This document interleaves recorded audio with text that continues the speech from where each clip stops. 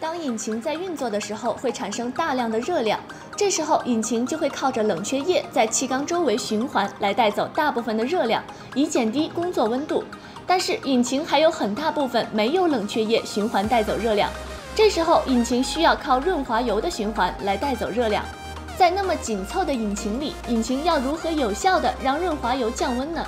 现在让我们看看市面上的机油冷却器是如何做出解决方法的吧。顾名思义，机油冷却器的作用是冷却机油，保持油温在正常工作范围内。在高转速的引擎上，由于热负荷十分大，这时候就需要靠冷却器。引擎在发动的时候，机油会因为工作温度上升而导致机油变稀释，降低了机油润滑引擎的能力。引擎安装了机油冷却器，进一步降低机油的温度，保持一定的粘度，才可以保持引擎的耐用度。为了让机油可以有效散热，冷却器布置了润滑循环油路。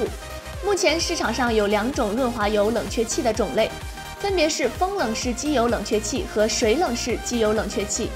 风冷式的冷却芯子由许多冷却管和冷却板组成，散热功能和普通的冷却器一样。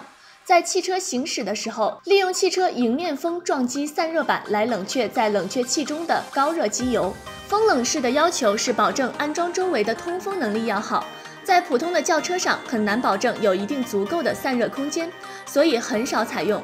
多数使用风冷冷却器是在高性能的汽车上，因为引擎运行速度高，需要足够的冷却风量。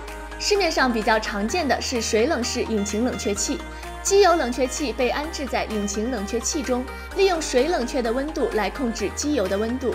当机油工作温度高时，靠冷却水来降温；引擎启动的时候，则靠着引擎冷却水收集到的热量来迅速升温，以达到正常的工作温度。冷却水在管外流动，润滑油在管内流动，两者进行热量交换。引擎就像是汽车的心脏，唯有一切安好，才可以耐久。汽车一切散热系统都是为了让汽车可以行驶的更远、更持久，大家明白了吗？